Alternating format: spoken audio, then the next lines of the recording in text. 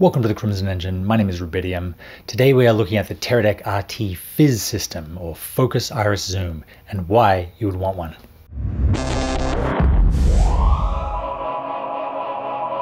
A couple of months ago, I did a one take for a short film um, where we used a remote follow focus.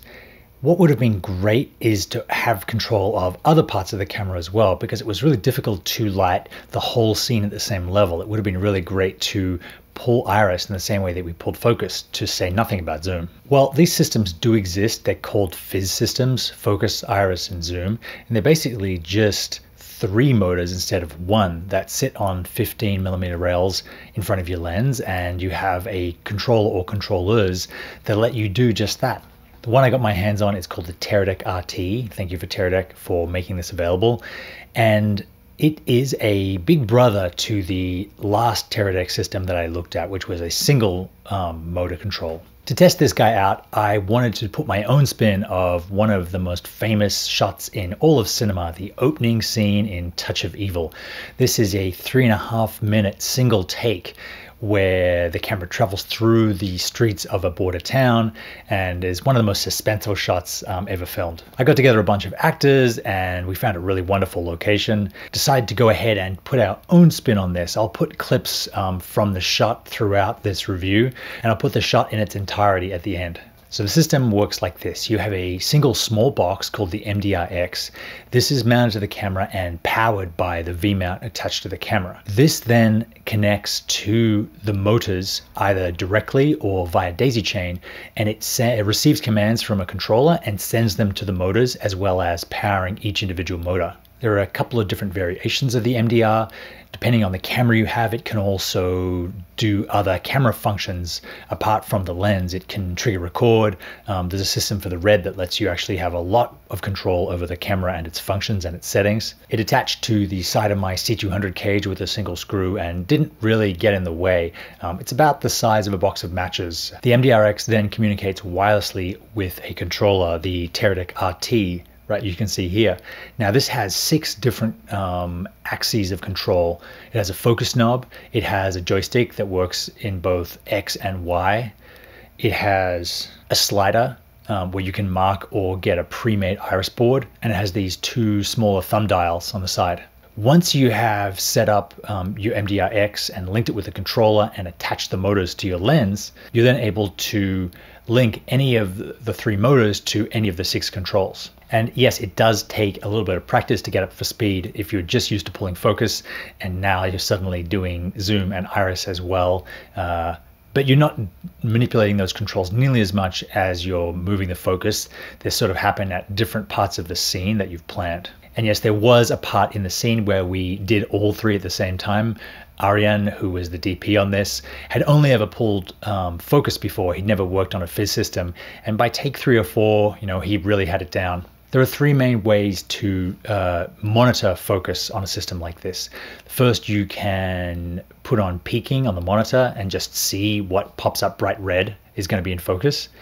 The second way is to use one of the included focus rings. You pick out the one that uh, matches your lens, um, slide it over the top of the focus knob, and now you have um, set markings for your focus marks. The third and most interesting way is to map the lens into the system. You're able to um, preset marks on the lens into the controller. Uh, if you do up to six of them, it will extrapolate the rest of the marks and they'll appear on the controller screen as you move the focus knob. The exciting thing about this is if you're using a compatible SmallHD monitor, you can actually connect your controller to a compatible SmallHD monitor and have the focus marks show up as overlays on the side of the monitor. This is what we did and the huge advantage is that you're able to keep your eyes on the screen as you're pulling focus. So you can also judge exposure for the iris and you can also judge the image for the zoom. This is sort of like a heads up display um, for focus pullers. I don't think we could have pulled off the shot we pulled off without it.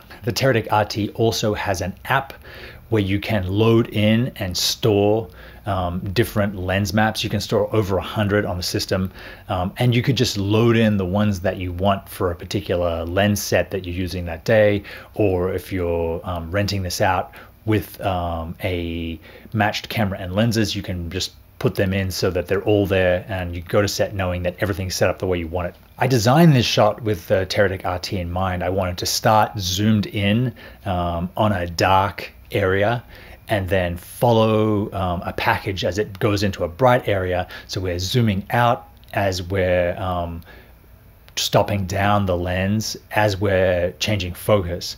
So we follow our hero into this amazing hot rod workshop. Camera keeps circling. We get to see um, all of this stuff.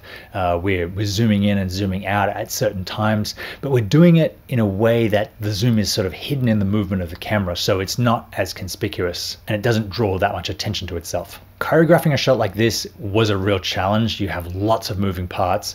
It's not just the um, field of view of the lens and the lighting that you have to um, take into account.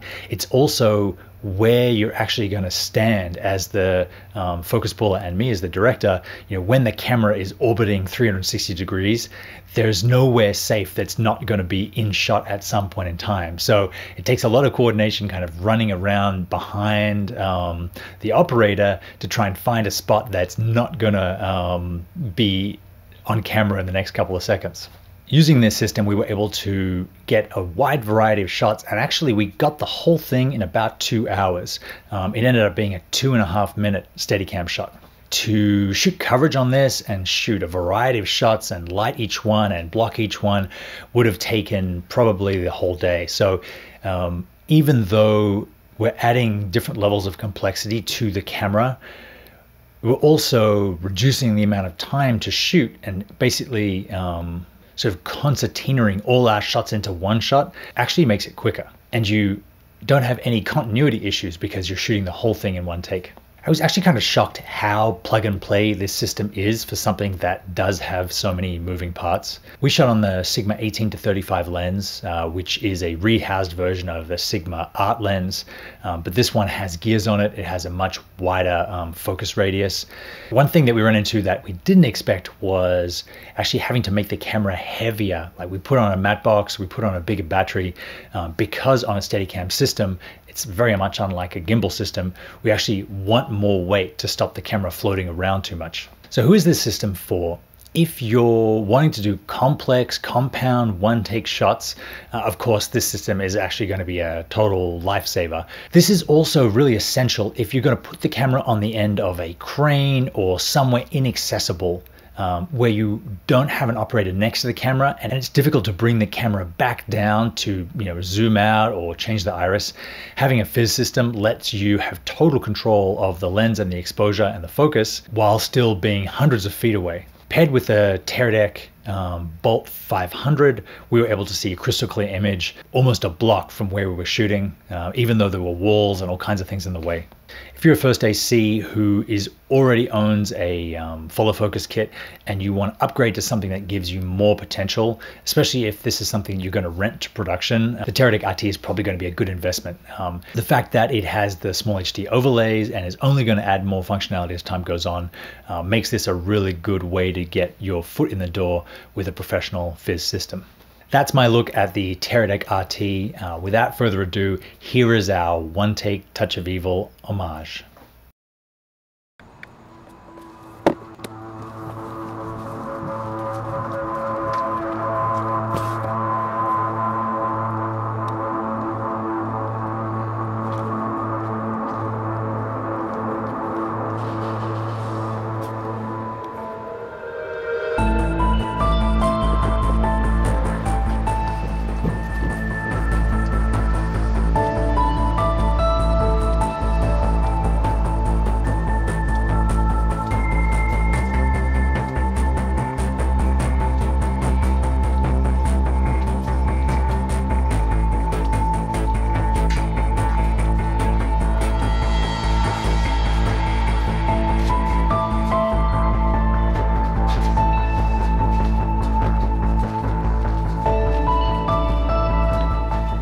Started yet?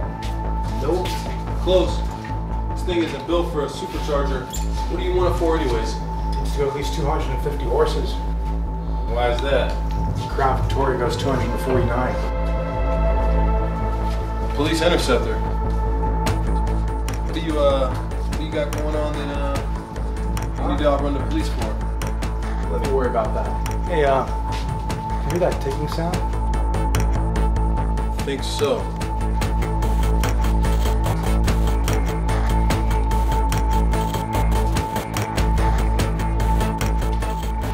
Delivery guys out front. Do you have any packages? Uh, yes, the one on the bench. Go.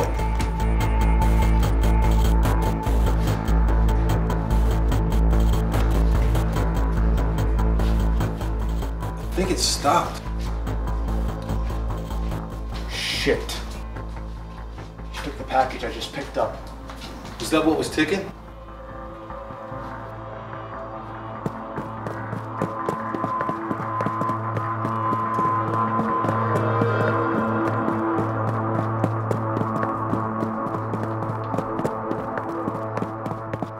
Where's the package?